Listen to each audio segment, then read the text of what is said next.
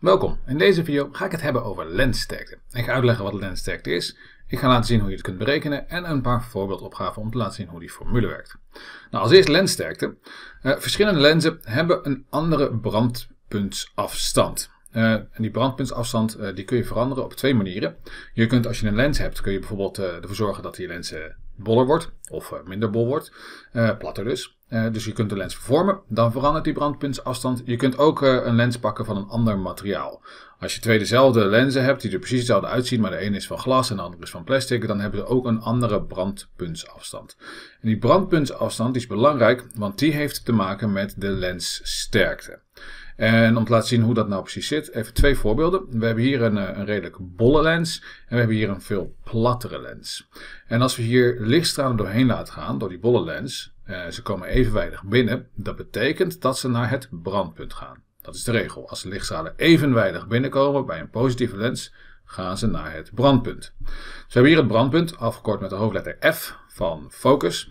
Uh, en we hebben hier ook de lichtstralen die evenwijdig binnenkomen. En als die lens uh, ja, platter is in dit geval, dan is die lens ook niet zo sterk. Dus je ziet dat die lichtstralen veel later bij elkaar komen. Dus die komen veel later bij het brandpunt. En die ene is dus sterker dan die andere en dat kun je zien aan de brandpuntsafstand. Dus de afstand tussen het midden van de lens en het brandpunt, die is hier een stuk kleiner bij de eerste lens dan bij de tweede lens. Dat betekent eigenlijk dat die eerste lens veel sterker is. Dat betekent niet dat hij heel zware dingen kan optillen, maar dat betekent dat hij veel makkelijker eigenlijk het licht kan breken. Hij is dus sterker omdat hij veel sneller het licht naar dat brandpunt toe breekt. En die andere lens, die plattere lens, ja, die, is, die is wat slapper. Uh, die komt uiteindelijk ook wel bij het brandpunt terecht, maar dat duurt allemaal wat langer. Dus die brandpuntsafstand is groter. Hoe sterker de lens, hoe kleiner de brandpuntsafstand. Die lens links is dus sterker dan die lens rechts. Nou, dat uh, moet je kunnen berekenen. En dit ging trouwens even over positieve lenzen, zometeen ook nog over negatieve lenzen. Maar eerst eventjes de formule. Die lenssterkte, die kun je berekenen met deze formule. S, de hoofdletter S, is 1 gedeeld door de kleine letter F. Nou, die hoofdletter S, dat is de lenssterkte en die wordt gemeten in dioptrie. Dat is een beetje een rare eenheid die je misschien nog, niet, nog nooit gehoord hebt, maar dat is de eenheid van lenssterkte. Dat is dus dioptrie en dat wordt afgekort met de drie letters dpt. Nou, en dat is vaak iets wat je, wat je uit je hoofd moet weten. Nou, dan hebben we het getal 1, dat is gewoon het getal 1. En dan hebben we F en dat is de brandpuntsafstand en die is in meter heel erg belangrijk, die moet in meter zijn. En dat is de afstand van het midden van de lens tot, tot aan het brandpunt. Nou, en deze formule moet je ook kunnen ombouwen. Nou gebruik ik deze formule wel eens. 6 gedeeld door 3 is 2. Dat weet je denk ik wel uit je hoofd. Uh, en je ziet nu dat de 2 en de 3, die kun je gewoon van plek wisselen. Want als je dit doet, dan krijg je 6 gedeeld door 3, of 6 eh, gedeeld door 2 is 3. Dat kan gewoon. Dus die S en die F, die kun je ook gewoon van plek wisselen. Dus dan krijg je dit. Dus als je 1 gedeeld door de lenssterkte doet, dan krijg je de brandpuntsafstand. Dus als je weet wat de sterkte van een lens is, dan kun je ook uitrekenen hoe ver het brandpunt van die lens afstaat. En als je weet hoe ver het brandpunt van die lens afstaat, dan weet je wat de lens, kun je uitrekenen wat de lenssterkte is. Nou, even voor de negatieve lens, dat werkt eigenlijk precies hetzelfde, maar ik ga hem toch even laten zien. Een negatieve lens heeft een negatieve brandpuntsafstand. Dus ook een negatieve lenssterkte. Want als je 1 gedeeld door een negatief getal doet, dan krijg je daar ook een negatief getal uit. Nou, hier hebben we zo'n uh, negatieve lens. Uh, komen lichtstralen komen evenwijdig binnen. En bij negatieve lens worden ze dan niet naar het brandpunt toegebogen of uh, gebroken, maar er juist vanaf. Dus ze gaan juist de andere kant op. En dan lijkt het alsof ze hier uit een punt komen. En dat is het brandpunt. Dus dat is de F. Dus dit is de brandpuntsafstand. Nou, je ziet dat die best wel klein is. Nou, deze lens is ook best wel sterk. Als je hem vergelijkt met uh, deze lens, die is wat uh, platter, dus wat minder hol. Uh, als daar lichtstralen evenwijdig in binnenkomen, dan worden ze ook daarvan afgebroken. En als ze dan bij elkaar komen hier, dan zie je dat dat een veel grotere brandpuntsafstand is. Dus die lens linker, linkerlens is uh, sterker dan de rechterlens, omdat de brandpuntsafstand dus kleiner is. Die brandpuntsafstand is negatief, dus de dioptrie is ook negatief. Uh, voor de mensen die brillen of lenzen hebben, uh, je hebt bijvoorbeeld een plus 1 dioptriebril of een min 1 dioptrie, dioptriebril. En dat hangt er dus maar net vanaf of je een positieve of een negatieve lens in je bril hebt. Nou, hoe sterker de lens, hoe kleiner de brandpuntsafstand. Dat geldt ook voor negatieve lenzen. Dat geldt voor alle lenzen, positief of negatief.